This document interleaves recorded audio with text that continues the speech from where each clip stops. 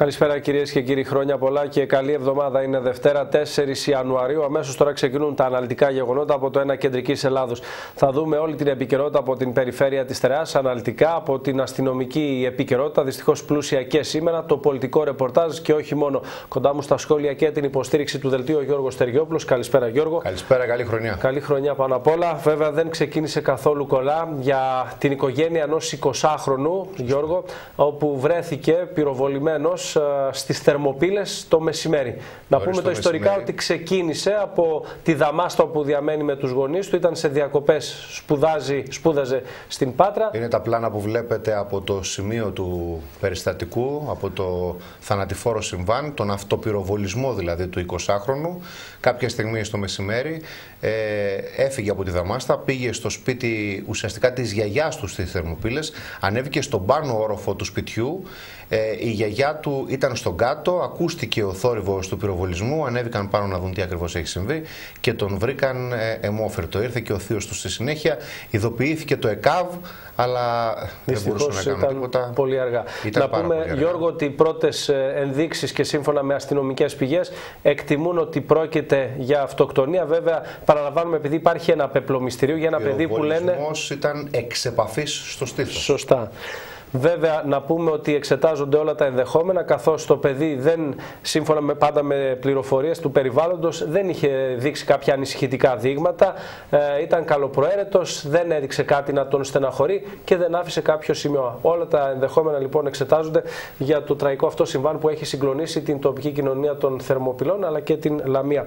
Γιώργο, να παραμείνουμε στο αστυνομικό δελτίο, καθώς ε, το εορταστικό δελτίο από την αστυνομία ήταν πλούσιο με θάνατο ενός ηλικιωμένου στον Πράλο Βεβαίως. και ανταλλαγή Ήταν το τροχαίο αυτό το οποίο έγινε ε, στην Εθνική Οδό Θερμοπυλών ουσιαστικά στον διασταύρωση του Μπράλου εκεί για την αμφίκλια ε, πιθανότατα από τον παγετό είχαμε ανατροπή του οχήματος και τον θάνατο ενός ηλικιωμένου. Την τελευταία του πνοή στην άσφαλτο άφησε ένας 82χρονο από τη γραβιά το μεσημέρι της Κυριακής όταν τούμπαρε με το αυτοκίνητό του και σκοτώθηκε ακαριέα. Το τροχαίο έγινε γύρω στις 12 το μεσημέρι της Κυριακής στη διασταύρωση Παλαιοχωρίου στο ρεύμα προς Αμφίκλια, όταν ο άτυχος άνδρας, ο οποίος κινούνταν στην Εθνική Οδό Θερμοπυλών Ιταία, έχασε τον έλεγχο του οχήματός του, πιθανόν λόγω της ολιστηρότητα του οδοστρώματος, με αποτέλεσμα να βγει εκτός δρόμου και να τουμπάρει. Αμέσως διερχόμενοι οδηγοί έτρεξαν να τον βοηθήσουν και να ειδοποιήσουν την αστυνομία και το ΕΚΑΒ, ωστόσο ήταν ήδη αργά. Το χτύπημα ήταν πολύ δυνατό και ο άτυχος ηλικιωμένος ανασύρθηκε νεκρός από το αγροτικό του αυτοκίνητο. Ωστόσο, μεταφέρθηκε με ασθενοφόρο του ΕΚΑΒ στο κέντρο υγείας Αμφίκλειας, όπου εκεί απλά διαπιστώθηκε ο θάνατός του. Προανάκριση για τα ακριβή αίτια που προκάλεσαν το θανατηφόρο τροχαίο διενεργεί η τροχαία λαμίας. Από τύχη δεν θρυνήσαμε θύματα το βράδυ του Σαββάτου, όταν ληστές άνοιξαν πυρ κατά αστυνομικών στο Μύτικα Χαλκίδα. Η ιστορία ξεκίνησε το βράδυ του Σαββάτου, λίγο μετά τις 9, όταν ένας 53χρονο ειδοποιήθηκε από το σύστημα συναγερμού ότι κάτι συμβαίνει στο σπίτι του. Όταν έφτασε στην οικία του στο Μύτικα Χαλκίδα, είδε την μπαλκονόπορτα ανοιχτή, συμπεραίνοντας ότι είχαν μπει κλέφτες στο σπίτι. Αμέσως ειδοποίησε την αστυνομία και τη στιγμή που έφτασαν στο σπίτι αστυνομικοί από το τμήμα ασφάλειας Χαλκίδας, οι δύο διαρρήκτες πηδούσαν το φράξι του σπιτιού για να διαφύγουν. Οι αστυνομικοί προσπάθησαν να τους σταματήσουν όταν ξαφνικά ο ένας από τους δύο διαρρήκτες έβγαλε όπλο και άρχισε να πυροβολεί εναντίον τους. Ευτυχώς οι αστυνομικοί κατάφεραν να καλυφθούν και να ανταποδώσουν τα πυρά. Ακολούθησε καταδίωξη των δύο ληστών, ωστόσο κατάφεραν να ξεφύγουν μαζί με κοσμήματα και ένα άγνωστο χρηματικό ποσό που είχαν αποσπάσει από το σπίτι του 53χρονου, όπως διαπιστώθηκε στη συνέχεια. Η αστυνομική διεύθυνση Εύβοια έχει εξαπολύσει ανθρωποκυνηγητό για τον εντοπισμό των δραστών. Προφυλακιστέοι κρίθηκαν οι τρεις νεαροί που είχαν πυροβολήσει στο πρόσωπο τον 30χρονο στον Άγιο Σώ της Περχιάδα πριν από λίγες ημέρες. Οι τρεις δράστες είχαν πάρει προθεσμία για να απολογηθούν και το πρωί του Σαββάτου οδηγήθηκαν ενώπιον της δικαιοσύνης και απολογήθηκαν, παίρνοντας τελικά το δρόμο για τη φυλακή ύστερα από ομόφωνη απόφαση ανακρίτριας και εισαγγελέα. Οι δράστες ηλικίας 24, 23 και 20 ετών αντίστοιχα κατηγορούνται για απόπειρα ανθρωποκτονίας και ληστεία, καθώς και για παράβαση νομοθεσίας περί όπλων. Σύμφωνα με όσα είχε καταθέσει στους αστυνομικούς το 30χρονο θύμα, οι τρεις δράστες μπήκαν στο σπίτι του πυροβολώντας την πόρτα και στη συνέχεια, αφού τον λίστεψαν, τον πυροβόλησαν στο πρόσωπο με αποτέλεσμα να κινδυνεύει να μείνει τυφλός, αφού παλαιότερα είχε χάσει και το άλλο του μάτι σε ατύχημα στο ψάρεμα. Από την έρευνα της αστυνομίας προέκυψε ότι θύτες και θύματα θύμα είχαν διαφορές και έπεσαν πυροβολισμοί και από τις δύο πλευρές όταν πήγαν οι δράστες στο σπίτι του 30χρονου. Από την άλλη πλευρά, οι συνήγοροι υπεράσπισης των κατηγορουμένων υποστηρίζουν ότι οι εργαστηριακές εξετάσεις του εγκληματολογικού θα δώσουν πολλές απαντήσεις και θα φωτίσουν αρκετές πτυχέ της υπόθεσης. Να αλλάξουμε θεματολογία, Γιώργο, με το δεξί μπήκε το 2016 για την περιφέρεια της Τεράς Ελλάδος, καθώς 16 εκατομμύρια θα διατεθούν για αποκατάσταση περσινών ζημιών από τα καιρικά φαινόμενα σε τρεις νομούς, αλλά και το μεγάλο στίχημα του Κώστα Μπακογιάννη για τον Ασοπό. Εγώ δεν ξέρω τι σχεδιάζει ο Μπακογιάννης για τον Ασοπό, ξέρω μάλλον, αλλά τώρα θέλω να χρησιμοποιήσω ε, αυτή ακριβώς την ενέργεια για να πω ότι η κυβέρνηση πλέον φαίνεται να αρχίζει να δίνει χρήματα και να αρχίζει να κινείται λίγο η κατάσταση.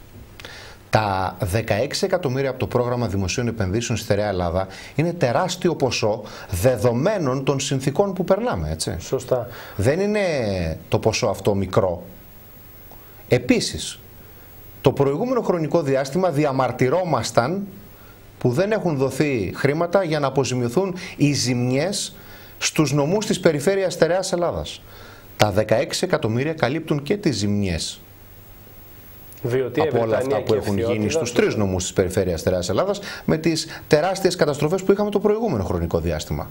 Φαίνεται σαν να αρχίζει κάτι να κινείται ε, και ας ελπίσουμε ότι δεν θα έχουμε μόνο μέτρα, θα έχουμε και σχεδιασμό, ανάπτυξη, έργα και χρήματα για να επιτευχθούν όλα αυτά και κυρίως για να προσπαθήσουμε, να προσπαθήσουμε λέω εγώ, δεν ξέρω αν καταφέρει κάποιος κάτι, να μειώσουμε λίγο και την ανεργία, γιατί αν μειώσει λίγο την ανεργία θα αρχίσουν όλοι οι δείκτες να ανεβαίνουν συνολικά. Δηλαδή, άμα κάποιος έχει δουλειά, παίρνει χρήματα, κινείται, ε, τονώνεται και η αγορά, αλλάζουν τα πάντα. Θα τα συζητήσουμε αυτά στην πορεία του δελτίου. Θα έχουμε τη δυνατότητα να έχουμε καλεσμένο εδώ στο δελτίο τον κύριο Βέτα, τον κυβερνητικό βουλευτή της Φθιότητας. Πάμε να πάρουμε μια πρόγευση τι ετοιμάζουν για την περιφέρεια και θα επιστρέψουμε. 16 εκατομμύρια ευρώ παίρνει η περιφέρεια Στερά Ελλάδος και ιδιαίτερα οι νομοί Φθιόντιδας, Ευρυτανίας και Βιωτίας για να αποκαταστήσουν κυρίως ζημιές οι οποίες προέκυψαν από τις περσινές πλημμύρες αλλά και για τις μελέτες που έχουν προαναγγελθεί για τον Ασοπό. Πρόκειται για έργα τα οποία θα έπρεπε να έχουν χρηματοδοτηθεί μέσα στο 2015 για να μπορέσουν να αποκατασταθούν οι ζημιές. Ωστόσο, μία ημέρα πριν αποχωρήσει το 2015, ο Υφυπουργός Αρμόδιος για το πρόγραμμα δημοσίων επενδύσεων κ. Χαρίτσης με δύο αποφάσεις που υπέγραψε εντάσσει σειρά από έργα στο εθνικό σκέλος του προγράμματος δημοσίων επενδύσεων. Το 2016 έχει ξεκινήσει πολύ καλά για την περιφέρεια της Ελλάδος.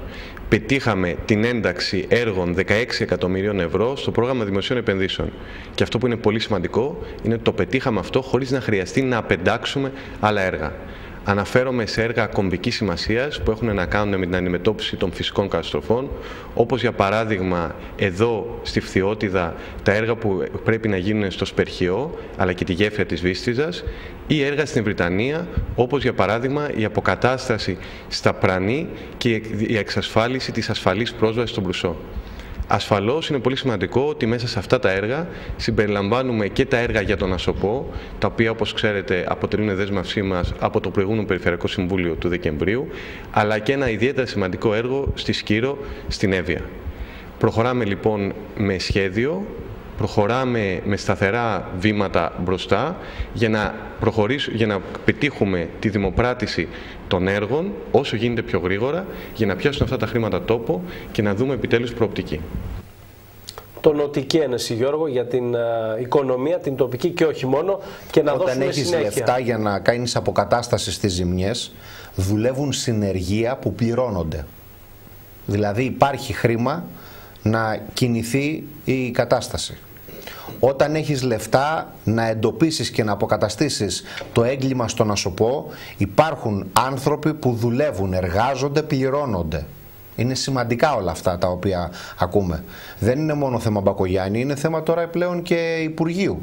Δηλαδή, ο Μπακογιάννης Νέα Δημοκρατία, η κυβέρνηση ΣΥΡΙΖΑ ΑΝΕΛ και όλοι μαζί αυτοί συνεργάζονται για να γίνει κάτι, ίσως λέω εγώ, ίσως δεν είμαι απολύτως σίγουρος, κάτι να ξυπνάει σιγά σιγά. Δηλαδή, βλέπει ο ένας, βλέπει και ο άλλος, τι έχει να κερδίσει και να χάσει άμα η δουλειά γίνει. Πολύ σωστά. Και η απορροφητικότητα του ΕΣΠΑ, Γιώργο, είναι ε, η πρωταθλήτρια Επίσης η χώρα μεγάλο μας. όπλο. Επίσης και η μεγάλο στερεά όπλο. Ελλάδα που είναι Σημαντικό πρώτη σε απορροφητικότητα. ότι η προβληματική οικονομικά Ελλάδα είναι πρώτη σε απορροφητικότητα από τις χώρες της Ευρωπαϊκής Ένωσης. Διέψευσέ με αν θυμάμαι καλά, το νούμερο είναι 97,1. Ακριβώς. Ε, Αυτό 97,1. είναι το υψηλότερο στην Ευρωπαϊκή Ένωση και η περιφέρεια της Τερά. Πάμε στο βίντεο και επιστρέφουμε με σχόλια. Παρά τις δυσκολίες με τα capital control και τις πολιτικές αναταραχές, η Ελλάδα αναδεικνύεται σε πρωταθλητή στο γήπεδο της απορρόφησης κονδυλίων από τα διαρθρωτικά ταμεία και το Ταμείο Συνοχής της Ευρωπαϊκής Ένωσης. Σύμφωνα με όλες τις πληροφορίες, η απορροφητικότητα στην χώρα μας έφτασε στο 97,1%. Πρωταθλήτρια για την απορρόφηση κονδυλίων του ΕΣΠΑ εμφανίζεται η περιφέρεια της Τεράς Ελλάδος. Σχετικές δηλώσεις έκανε ο Περιφερειάρχης Τεράς Κώστας Μπακογιάννης. Όπως ξέρετε πάρα πολύ καλά, είναι γνωστό νομίζω σε όλους, η περιφέρεια της Ελλάδα Ελλάδος είναι πρωταθλήτρια στην απορροφητικότητα πόρων του ΕΣΠΑ. Αυτό όμως το οποίο εμείς συγκρατούμε είναι ότι υπάρχουν κάποια έργα σε όλη την περιφέρεια τα οποία έχουν μείνει ημιτελή και διεκδικούμε αυτή τη στιγμή από το Υπουργείο Ανάπτυξης την ολοκλήρωσή τους, ακόμα και αν χρειαστεί με εθνικούς πόρους. Να σημειώσω ότι έχουμε μια πάρα πολύ καλή συνεργασία με το Υπουργείο Ανάπτυξης και με τον αρμόδιο υφυπουργό, τον κύριο Χαρίτσι, και μου δίνει την ευκαιρία να τον ευχαριστήσω για όλα όσα έχει κάνει για την περιφέρειά μας. Αυτά είναι τα αποτυπώματα ουσιαστικά της απορρόφησης. Καλησπερίζουμε στο σημείο αυτό τον βουλευτή ΣΥΡΙΖΑ Νομού Φθιώντα, τον κύριο Βέτα. Καλησπέρα, καλή χρονιά. Καλησπέρα και καλή χρονιά. Και γρήγορα έξοδο από την οικονομική κρίση το 2016, έτσι είπε ο Πρωθυπουργός. Και με αυτά που ακούσαμε. κύριε Βέτα. Προβληματισμένο είστε ή χαρούμενος; Είμαι πολύ χαρούμενος, ιδιαίτερα όταν ακούω έναν α, περιφερειάρχη, να, ο οποίος ανήκει σε ένα χώρο ιδεολογικά αντίθετα από μένα, να δίνει τα συγχαρητήρια και να υπάρχει, μάλλον όχι, να το πούμε έτσι, να το πω αλλιώς, να συνεργάζεται καλά και να λέει καλά λόγια για τον α, Υπουργό αυτή τη κυβέρνησης. Που σημαίνει ότι κάτι, μάλλον όπως είπατε, ξυπνάει, κάτι αλλάζει και πως το εθνικό συμφέρον είναι αυτό που όλοι μας θα οικοδομήσουμε. Πέρα από τις ιδεολογικές διαφορές και τις πολιτικές μας διαφορές, νομίζω κάτι αρχίζει. Και όσο περισσότερο χρήμα, επιμένω το λέω αυτό, περνάει στις περιφέρειες, με μια συνετή διαχείριση του χρήματος από την περιφέρεια, νομίζω ότι τόσο περισσότερο χρήμα θα καταλήγει όχι σε τσέπες λίγων, αλλά στις τσέπες του κόσμου που έχει ανάγκη για δουλειά. Και νομίζω ότι ένα σημαντικό όπλο για την καταπολέμηση ενεργεία είναι αυτή, αυτή ακριβώς η σχέση μεταξύ κεντρικής εξουσίας, κράτους ενώ Να προσπαθήσουμε να το διευρύνουμε όμως, έτσι. Βεβαίως. Να μην είναι μόνο Όχι, όταν βέβαια. φτάνουν οι θηλιά στο λαιμό, δηλαδή ουρλιάζουν η φθιότητα, η βιωτεία και η ευρυτανία για τις ζημιές εδώ και ένα χρόνο. Κοιτάξτε, Βέβαια θα μπορούσε, θα μου πείτε πολύ σωστά, δεν είχε τελειώσει η διαπραγμάτευση, δεν είχαν πάρει τις εγκρίσεις, δεν είχαν γίνει αξιολογήσεις, δεν είχαν εκταμιευτεί τα χρήματα. Ωραία, τα καταλαβαίνω όλα αυτά. Τα καταλαβαίνω όλα αυτά, δεν χρειάζεται να τα αναλύσουμε. Αυτό που θέλω να αναλύσουμε είναι γιατί δεν έχουμε καλύτερα οικονομικά αποτελέσματα, ενώ θα μπορούσαμε να έχουμε. Εγώ δεν ξέρω για ποιο λόγο κολλησιεργούμε στα έσοδα. Δηλαδή, έσοδα δεν είναι μόνο να πληρώσει ο άλλος τα τέλη κυκλοφορίας ή δεν είναι θετικό ας πούμε να δίνεται στις παρατάσεις. Εντάξει, παραδοσιακά συμβαίνει αυτό. Ε, θετικό θα ήταν να δούμε λίγα λεφτά από αυτά που έχουν οι πολλοί. Κοιτάξτε, είναι θετικό στοιχείο το γεγονός, ακόμη και αν ε, δεν ακούγεται πάρα πολύ καλά, γιατί αδειάζουν τις τσέπες του κόσμου, ότι ε, τα έσοδα έχουν αυξηθεί. Είναι επίσης ενθαρρυντικό ότι τουλάχιστον έχουν ξεκινήσει κάποιες διαδικασίες, τουλάχιστον με, με- τώρα τελευταία και με την ε, λίστα των ε, εμβασμάτων, η οποία έχει ακουμπήσει πάνω στη λίστα Λαγκάρντ κυρίως και η οποία νομίζω πλέον αποτυπώνει πλήρως τις διαδρομές του χρήματος. Ε, θα επισημάνω εδώ βεβαίως και θα προσθέσω και το γεγονός ότι μέσα στο Γενάρη, μέχρι τις 20 Γενάρη, νομοθετούμε για το διαβόητο ή περιβόητο, όπως θέλετε πείτε, το ε, νομοσχέδιο της ε, αυτοκαταγγελίας. Εγώ έτσι το λέω. Όπου θα καλεστούν όλοι οι άνθρωποι οι οποίοι έχουν χρήμα, εγώ δεν λέω πως είναι μαύρο χρήμα, οι άνθρωποι οι οποίοι έχουν χρήμα στο εξωτερικό, να προσέλθουν και να α, επιλέξουν ή θα πάνε στην πόρτα του Ταμείου ή θα πάνε στην πόρτα του Εισαγγελέα. Αυτό νομίζω ότι τελειώνει μέχρι τέλος του Γενάρη και θα υπάρξουν αυτά αποτελέσματα. Ήδη υπάρχουν πληροφορίες ότι εισραίουν άνθρωποι οι οποίοι δεν περιμένουν το νομοσχέδιο, αλλά το κάνουν από τώρα, από τις πρώτες μέρες του Ναι, χρόνου. να προλάβουν. Για να προλάβουν και να τουλάχιστον να πληρώσουν αυτό που πρέπει να πληρώσουν. Εδώ δεν μιλάμε για ρευασισμού. Απλά πρέπει να πληρωθεί ένα χρήμα το οποίο δεν είναι φορολογημένο χρήμα. Η προέλευσή του είναι άλλη υπόθεση. Έτσι, είναι άλλη υπόθεση. Πιστεύετε δηλαδή το σύστημα θα είναι αποτελεσματικό; Το Ή σύστημα- να το πω αλλιώς, να μην είμαι. ε, γιατί συνηθίζω να σας επιτίθεμαι συνεχώς σε όλους τους βουλευτές για τα οικονομικά δεδομένα. Θα είναι πιο αποτελεσματικό από το παρελθόν. Κοιτάξτε, θα είναι σίγουρα πιο αποτελεσματικό. Είναι μια καλή αρχή. Εγώ έτσι το α, εκλαμβάνω. Και νομίζω ότι κάθε μέρα το σύστημα θα γίνει και πιο ισχυρό. Παράλληλα όμως με αυτό το σύστημα, ξέρετε, πρέπει να υπάρξει και μια ε, άλλη εικόνα του κόσμου για αυτό που γίνεται αυτή τη στιγμή. Και πως ο κόσμος δεν πρέπει να το βλέπει. Πρέπει βέβαια να δει τα αποτελέσματά του, αλλά δεν πρέπει να το ρίχνει και αυτό στον Κεάδα, πιστεύοντας ότι τίποτα δεν θα γίνει. Η χώρα είναι σε μια ιστορική καμπή. Θα γίνουν πράγματα για τα οποία περισσότεροι, οι περισσότεροι δεν πιστεύουν πως θα γίνουν. Τα ακούμε. Αλλά θα γίνουν. Τα γίνουν. Μα σας είπα, Τα όχι. βγούμε από επιτροπή. Δεν θέλω να τα αλλά- λέμε συνέχεια. Βλέπετε τώρα, έτσι. ότι για πρώτη φορά νομοθετεί μια χώρα ενάντια στο μαύρο χρήμα. Για πρώτη φορά. Εγώ δεν είπα πως τα αποτελέσματα είναι σήμερα εξαιρετικά ή εκπληκτικά ή καταπληκτικά. Λέω όμως πως σε ένα μήνα, σε δύο μήνες θα δούμε τα πρώτα αποτελέσματα της πρώτης δουλειάς μας. Και νομίζω ότι αυτό το, το σύστημα θα ενισχύεται Θα και μπορούσε πρέπει να όμως το έχετε ενισχύεται. κάνει νωρίτερα, Κάθε φορά δεν θα να μην διαφωνήσω. περικόψουμε Δεν θα διαφωνήσω. συντάξει, να μην μαζέψουμε Δεν θα από άλλα διαφωνήσω. πράγματα. Καλύτερο Που... ισοδύναμο. Δεν θα διαφωνήσω σε αυτό. Δηλαδή είμαι ο τελευταίος όμως που δεν γνωρίζω εννοώ ε, τις διαδικασίες οι οποίες πρέπει Ξέρετε, να πληρωθούν. επιφυλάσσομαι γιατί τα έχετε καυτηριάσει εσείς ειδικά. Με τον πιο σκληρό τρόπο έτσι. Και στο θα, είμαι- παρελθόν. θα είμαι ο ίδιος ο οποίος θα χαρώ πάρα πολύ αν δω ότι πραγματικά τα αποτελέσματα. θα είναι Κρατάω μία στάση εξαιρετικά. έτσι αναμονής για αυτό Ναι. το θέμα, γιατί πιστεύω πραγματικά ότι και εσείς θέλετε να υπάρξει αποτέλεσμα σε αυτό το τομέα. Το έχει θέσει ψηλά ο Πρωθυπουργός της χώρας αυτό. Και κάνει εξαιρετική δουλειά σε αυτό. Νομίζω ότι το, επιτε- το επιτελείο ε, του Υπουργείου της Διαφθοράς Δώστε είναι, μας μια είναι ευχή για καλό. το είναι 2006, καλό. κύριε Βέτα, γιατί ο χρόνος είναι περιορισμένος. Ε, το 2006 είναι ένα- μια χρονιά προκλήσεων και θα έλεγα νέων ε, Το αγώνων 2015 του να φύγει να μην λαού. ξανάρθει ποτέ. Το 2015 δυστυχώς το κουβαλάει, το κουβαλάει το 16 μέσα του. Θα έχει θέματα και δυσκολίες που φέρνει το 2015. Παρ' όλα αυτά είναι μια χρονιά προκλήσεων. Πρέπει η χώρα να προβεί γρήγορα σε μεταρρυθμίσεις. Πρέπει να αλλάξουμε τον εαυτό μας, πρέπει να αλλάξουμε τη χώρα και πρέπει να προχωρήσουμε σε αυτό που λέγεται αξιοκρατία, ανταγωνιστικότητα. Πρέπει η οικονομία μας να αλλάξει, να πατήσει πάνω σε στιβαρά θεμέλια για να μπορέσει αυτός ο κόσμος να βρει δουλειά. Ο, η, η χρονιά λοιπόν το 2016 είναι μια χρονιά, εγώ θα την ονόμαζα ενάντια στην ανεργία. Η πιο κρίσιμη από την προηγούμενη. Λοιπόν, σας ευχαριστούμε κύριε Βέτα για την ευχαριστώ παρουσία σας. πολύ. Καλή χρονιά. Καλή χρονιά. Και Ελπίζουμε να επαληθευτούν όλα όσα μας είπατε. Γιώργο, πάμε τώρα λίγο ε, στα ζητήματα που αφορούν την εθαλομίχλη, το πέπλο που απλώθηκε σήμερα στη Λαμία. Βέβαια δεν είχε να κάνει Από με την εθαλομίχλη. ομίχλη στην Εθαλομίχλη ή από την Εθαλομίχλη του Σαββατοκύριακου στην ομίχλη της Δευτέρας. Και τα δύο έχουν Ελπίζω να εξηγήσεις. ξεκαθαρίσει το τοπίο, όπως είπε ο κύριος Βέτας. Αν δεν ξεκαθαρίσει το τοπίο γρήγορα με την εθαλομίχλη, θα έχουμε σοβαρές ασθένειες. Γιατί κάποιοι βγαίνουν, αθλούνται, εισπνέουν και έχουμε επιπτώσεις. Τώρα για την ομίχλη χειμώνα έχουμε, αλλήμον. Στην Εθαλομίχλη πνίγηκε για μία ακόμα φορά η πόλη της Λαμίας το απόγευμα του Σαββάτου, χτυπώντας κόκκινο στο όριο συναγερμού. Ο παγετός των τελευταίων ημερών οδήγησε τους Λαμιώτες σε υπερβολική χρήση τζακιών και θερμαστρών, με αποτέλεσμα η Εθαλομίχλη να πνίξει την πόλη της Λαμίας τόσο στο κέντρο όσο και νότια της πόλης. Το επίπεδο των εκπεμπόμενων αιωρούμενων σωματιδίων στη Λαμία βρίσκεται πολλές φορές στο όριο συναγερμού, δίνοντας στη φθιωτική πρωτεύουσα τα πρωτεία στο θέμα της ρήπανσης. Το μηχάνημα μέτρησης της Εθαλομίχλης, το οποίο βρίσκεται εγκατεστημένο στην πλατεία Ελευθερίας στο κτίριο της Περιφέρειας, μια τοποθεσία που πολλοί φορείς θεωρούν λανθασμένη, έχει καταγράψει τιμές οι οποίες πολλές φορές είναι σχεδόν διπλάσιες από το όριο συναγερμού. Ωστόσο, σύμφωνα με τους κατοίκους της πόλης, το πρόβλημα βρίσκεται στη νότια πλευρά της Λαμίας, εκεί όπου υποστηρίζουν ότι δεν μπορούν να αναπνεύσουν λόγω της μόλυνσης της ατμόσφαιρας και ζητούν από την περιφέρεια να πάρει άμεσα μέτρα για την αντιμετώπιση της κατάστασης. Η οικία η οποία έχει εκδοθεί μας αναγκάζει να εκδώσουμε μέτρα για μείωση εκπομπών αισθιών καύσης α- με, όταν το όριο υπερβαίνει τα 100 μι- ε, κυβικά, 100 ε, μιλιγκράμμα ανά κυβικό, αλλά με την προϋπόθεση ότι είναι η μέση ημερήσια τιμή.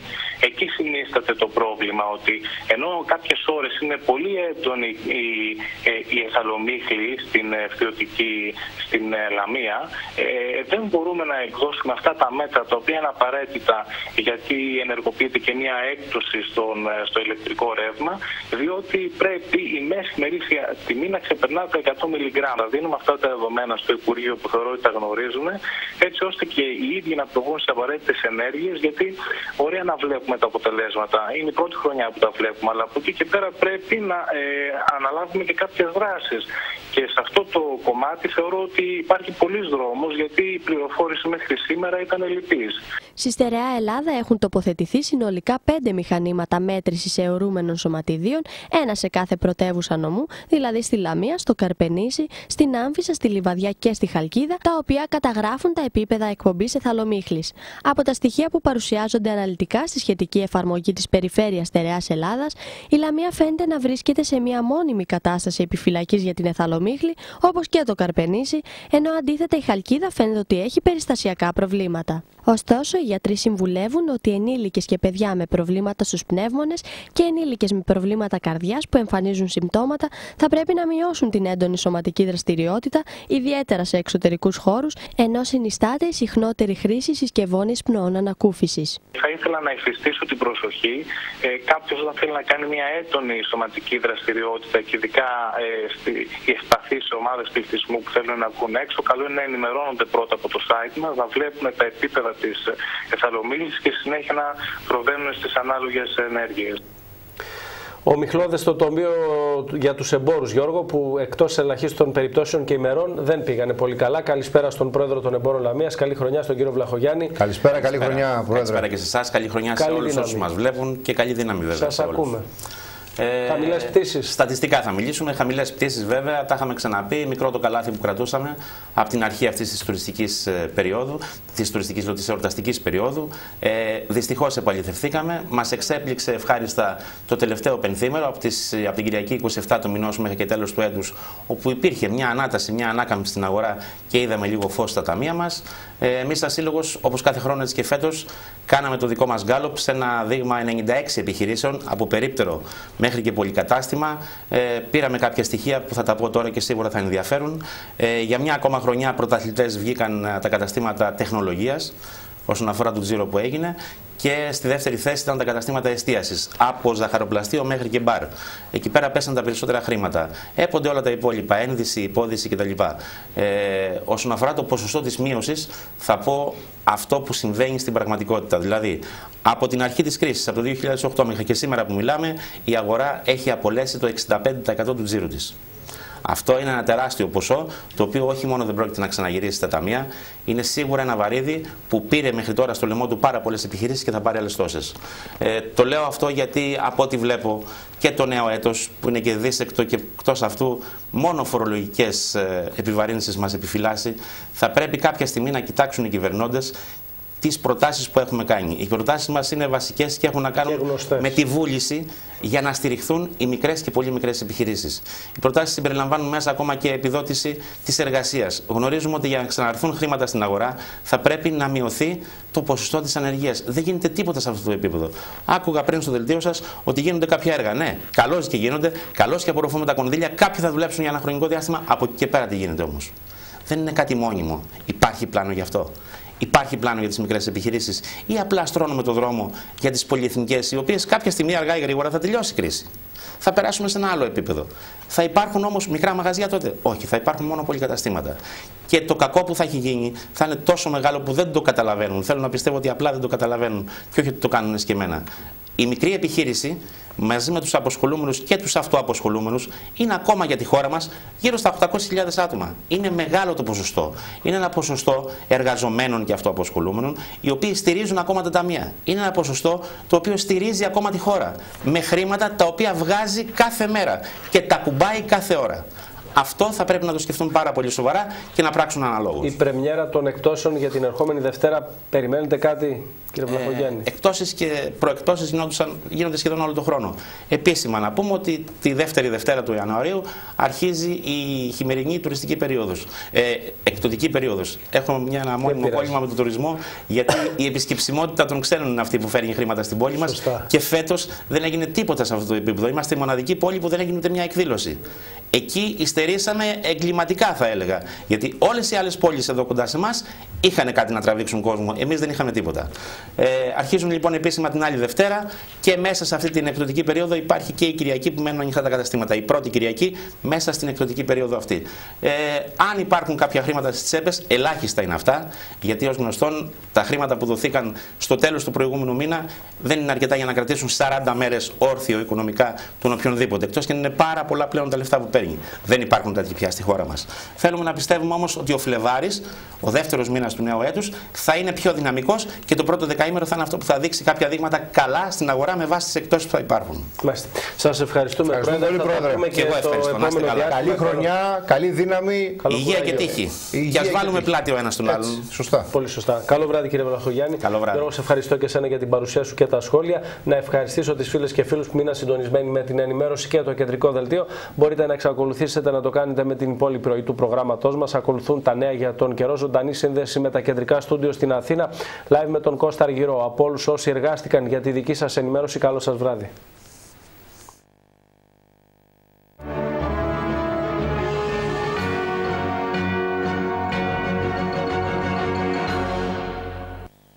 Ο καιρός είναι μια προσφορά της Ελεουργικής Κεντρικής Ελλάδος.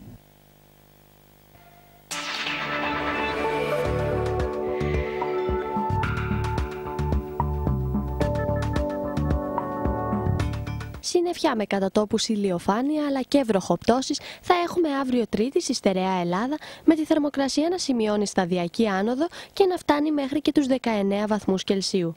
Πιο αναλυτικά στο Καρπενήσι η θερμοκρασία θα κυμανθεί από 10 έως 14 βαθμούς Κελσίου, στη Λαμία από 8 έως 19, στην Άμφισα από 11 έως 18, στη Λιβαδιά από 11 έως 19 και στη Χαλκίδα από 9 έως 20 βαθμούς Κελσίου. Αυτός θα είναι ο καιρός για αύριο Τρίτης σε 14 μεγάλες πόλεις της στερεάς Ελλάδας.